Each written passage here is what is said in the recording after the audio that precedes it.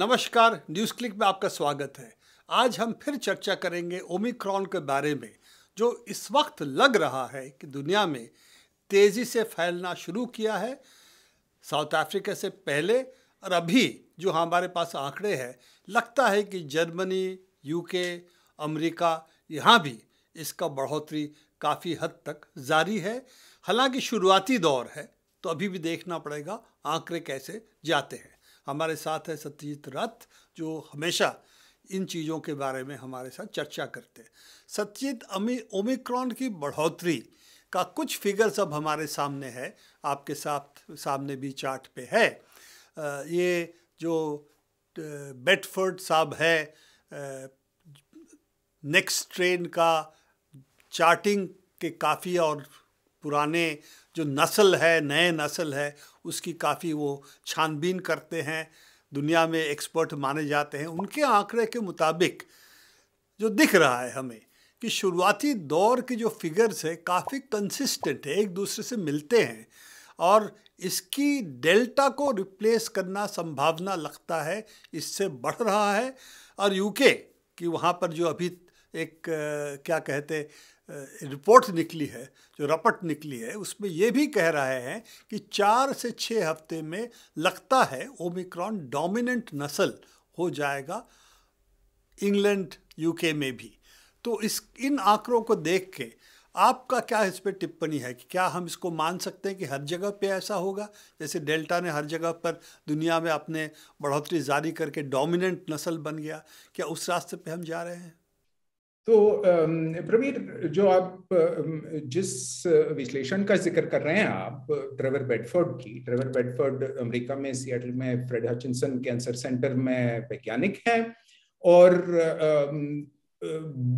बीमारियों की बढ़ंत, बीमारियों का फैलाव, इसको लेकर जो एक संख्या वैज्ञानिक नज़रिया है, उसमें काफ़ी माहिर माने जाते हैं। तो उन्होंने जो विश्लेषण दिखाया है, जो हमारे सामने है तो इसमें चार देशों का विश्लेषण दिखाया है, एक जर्मनी है, एक दक्षिण अफ्रीका है, एक बर्तानिया है और एक अमेरिका है।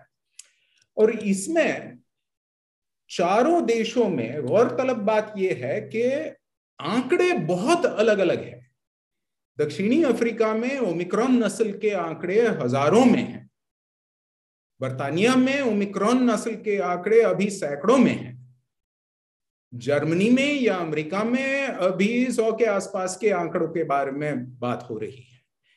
और इसके बावजूद कि ये बीमारियों के आंकड़े इतने अलग अलग है, इसके बावजूद भी बढ़ंत की जो ढलान है, बढ़ंत की जो चढ़ान है, ढलान ना कहें, चढ़ान कहें तो बढ़ंत की चढ़ान चारों देशों में एक जैसी है। बेडफोर्ड साहब इसी ओर अंगुली निर्देश कर रहे हैं और कह रहे हैं कि ये ये बड़ी गौरतलब बात है कि चढ़ान बिल्कुल एक जैसी है चारों देशों में। हालाँकि जैसे हमने कहा, बीमारियों के आंकड़े अलग हैं। हालाँकि जैसा बेडफोर्ड साहब ज़िक्र करते हैं कि टीकाकृत लोगों के प्रमाण चारों देशों में बिल्कुल अलग अलग है। दक्षिणी अफ्रीका में 20-25 फ़ीसदी लोगों, लोग पूरी तरीके से टीकाकृत हैं। बर्तानिया में और ज़्यादा है, जर्मनी में उससे भी ज़्यादा है, हालाँकि अमेरिका में उससे थोड़े कम है। और इस, इन सब फर्कों के बावजूद चढ़ान बिल्कुल एक दूसरे जैसी है। इसका मतलब बेडफोर्ड साहब का कहना यह है और सुसंगत लगता है कि ओमिक्रॉन नस्ल काफ़ी तेज़ी से फैलने के काबिल है और इसमें ओमिक्रॉन नस्ल को कोई बड़ा फ़र्क नहीं पड़ता कि क्या लोग टीकाकृत हैं या नहीं है। उनमें संक्रमण ओमिक्रॉन की नस्ल से हो ही जाए शायद। या तो यूँ कहे कि टीकाकरण से ओमिक्रॉन नस्ल की फैलाव पर बहुत थोड़ा फ़र्क पड़े, बहुत बड़ा फ़र्क ना पड़े। लेकिन ये बात सब संक्रमण को लेकर है, यानी कि इन्फेक्शन को लेकर है।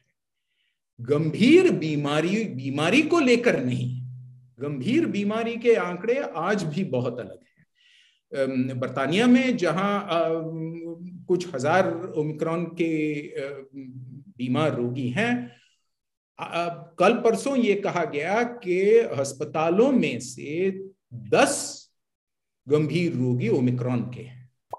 एक की मौत हुई। तो इन आंकड़ों से यूँ कुछ कहा जा सकता है कि दक्षिण अफ्रीका में जो वैज्ञानिक कह रहे हैं उसको पुष्टि मिले। और वो ये है कि ओमिक्रॉन नस्ल उतनी गंभीर समस्या पैदा नहीं करती बीमारी की। फैलती ज़रूर है, संक्रमण ज़रूर होता है, लेकिन बीमारी की गंभीरता थोड़ी कम है। अब उसमें सवाल ये उठता है कि क्या ये बीमारी की गंभीरता कम होना, ये ओमिक्रॉन नस्ल की एक स्वाभाविक, ओमिक्रॉन नस्ल का एक स्वाभाविक गुणधर्म है, या फिर, चूँकि ये टीकाकृत लोगों में फैलती है तो टीकाकरण की वजह से बीमारी की सौम्यता कम हो रही बीमारी की गंभीरता कम हो रही दक्षिण अफ्रीका में काफ़ी लोग से थे इन्फेक्शन इन्फेक्शन पहले हो चुका है एक बार तो इसीलिए भी नेचुरल इम्यूनिटी कुछ हद तक होने के वजह से और अमेरिका, जर्मनी यूके में वैक्सीन के वजह से तो कह सकते हैं गंभीरता का संभावना कम हो सकती है। साउथ अफ्रीका में यंग लोगों को काफ़ी ओमिक्रॉन की बीमारी दिखाई पड़ रहा है। तो ये भी वजह है क्योंकि वहाँ वैक्सीन इतने पैमाने पे यंग लोगों को नहीं मिला है। तो ये सब वजह से भी अभी भी ओमिक्रॉन का फिगर्स कम होना हो सकता है, इस वजह से है। इस वजह इस वजह से भी हो सकता है कि काफ़ी नई बीमारी है और गंभीर बीमारी नज़र आता है 10-15 दिन के बाद। अभी भी चाहे अमेरिका हो चाहे यूके हो ये बहुत बड़े संख्या में पुरानी बीमारी 10, 15, 20 दिन के नहीं हुए हैं तो ये भी वजह हो सकता है। बिल्कुल हो सकता है लेकिन अगर आप साउथ अफ्रीकाई आंकड़े देखें और पहले साउथ अफ्रीकाई छह महीने पहले दक्षिणी अफ्रीका में जो एक आंकड़ों की लहर आई थी, उसके साथ साथ मृतकों के आंकड़े भी बढ़े थे, बतौर लहर के। तो उन आंकड़ों की को थोड़ा गौर से देखें और ये ओमिक्रॉन वाली लहर की ओर देखें तो लगता यूँ है कि अगर ओमिक्रॉन नस्ल बिल्कुल साउथ अफ्रीका के लिए डेल्टा नस्ल जैसी होती तो अब तक मृतकों के आंकड़े बढ़ने लगते। और वो अभी भी बढ़े नहीं हैं। तो अब हो सकता है कि आगे जाके बढ़ेंगे, लेकिन जहाँ तक आज के आंकड़े हैं, वो ये कह रहे हैं कि ओमिक्रॉन नस्ल के गंभीर बीमारी को लेकर असरात थोड़े सौम्य है, थोड़े थोड़े इतनी गंभीरता नहीं दिखा रहे।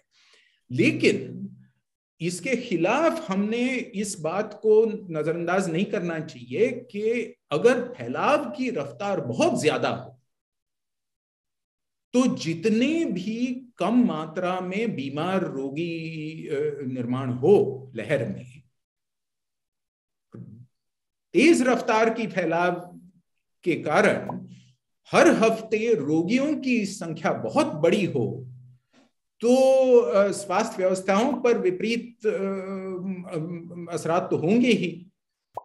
तो इसलिए हमने ये कहकर सुस्त नहीं रहना चाहिए कि भाई बिल्कुल सौम्य तरीके का विषाणु है, ये इस नस्ल में कोई बहुत ज़्यादा बीमारी का दम नहीं है।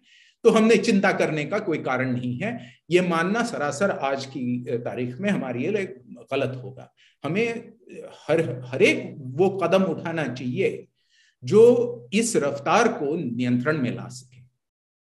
सत्यजीत, और एक कहा जाता है कितना इसमें सच्चाई है आप बताएँगे कि इस तरह के जो वायरस होते हैं तो उनका धीरे धीरे उनका जिस कहते हैं लोगों को क्षति करना ज़्यादा बीमार करना मौत की तरह ले जाना ये उनके लिए एवोल्यूशनरी टर्म्स पे इतना अच्छा नहीं है। इसीलिए वो सौम में धीरे धीरे हो जाते हैं। इसमें कितनी सच्चाई है? क्योंकि हमारे यहाँ स्मॉल पॉक्स वायरस था और अब हम जानते ही हैं कि हज़ारों साल तक इसका असर उसी तरह रहा। तो ये क्या कहना आ, सही होगा कि नहीं? वायरस तो वैसे अपने आप जो है काबू में आ जाते हैं। ये ऐसी एक संकल्पना है जो विशिष्ट सबूतों को लेकर अपनाई जाती है उस विज्ञान में, उस तरीके के बीमारी के फैलाव के संख्या विज्ञान में। लेकिन उसे इस तरीके से सर्वसाधारण रूप से गृहित धरना बिल्कुल सरासर गलत होगा। एक तो अपन पिछले साल भर से कहते आए हैं कि हमने दबाव डाला है विषाणु की जनसंख्या पर। सार्सकोव दो की विषाणु की जनसंख्या पर हमने दबाव ये डाला है कि हमने उसका फैलाव मुश्किल कर दिया है। और फैलाव मुश्किल यूँ कर दिया है कि हमने हमने शारीरिक दूरीकरण के चंद उपाय अपनाए हैं। तो जब वो हो, तब विषाणुओं की जनसंख्या में से जो नई नस्लें उभर के आएँगी, वो और ज़्यादा अच्छे तरीके से फैलाव में काबिलियत रखेगी। लेकिन उस गुणधर्म से ही फिर ये दबाव जुड़ा है। या वैसे बढ़ने से, उसकी उसकी काबिलियत बढ़ने से ज़्यादा गंभीर बीमारी पैदा होगी या गम, कम गंभीर बीमारी पैदा होगी? ये कोई दबाव का मसला नहीं है और उसलिए अपन ये कह नहीं सकते कि ये यूँ होगा, क्यों नहीं होगा। ये सब कुछ कहने के लिए हमारे पास कोई ठोस ढांचे नहीं है, कोई ठोस सबूत नहीं है। तो इस तरह की अपेक्षाएँ हम ना रखें इसी में सैनापन है। सत्यजीत, दूसरा चार्ट जो हमारे दर्शकों को दिख रहा है उसमें अगर आप देखें तो देखेंगे वैक्सीन की जो विषमता है डिफरेंशिएशन बहुत ज़्यादा है। इसमें देखेंगे अमेरिका और यूके का अगर आंकड़े जोड़े, जो बूस्टर डोज जिनको मिल चुका है तो लो इनकम ग्रुप जिसमें बड़ी संख्या में अफ्रीका की देश शामिल है तो उसमें लो इनकम ग्रुप्स की टोटल वैक्सीनेशन से बूस्टर डोज ज़्यादा है। इस वक्त भी दुनिया बूस्टर डोज की ओर जा रहे हैं, हमारे यहाँ भी, हिंदुस्तान में भी बूस्टर डोज की बात हो रही है। पर अगर नए नस्ल निकलते हैं, जहाँ पर वैक्सीन कम है, जहाँ पर लोगों में प्रोटेक्शन कम है तो ये जो बढ़ोतरी है, ये हमको बार बार देखने को मिलेगी। अगर ये सही है तो इसका मतलब है कि जो वैक्सीन बनाते हैं उसका मुनाफा तो बढ़ता रहेगा पर बीमारी कम नहीं होगा।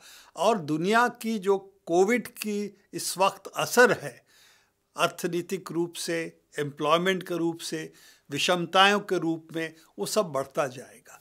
तो इस पर नहीं लगता आपको कि हम दुनिया के तौर पे मानविक रूप से एक बहुत ही आ, क्या कहेंगे इस रास्ते पे जा रहे हैं जो चंद लोगों को मुनाफा के लिए दुनिया को एक खतरे में झोंक रहे हैं। जी, बिल्कुल।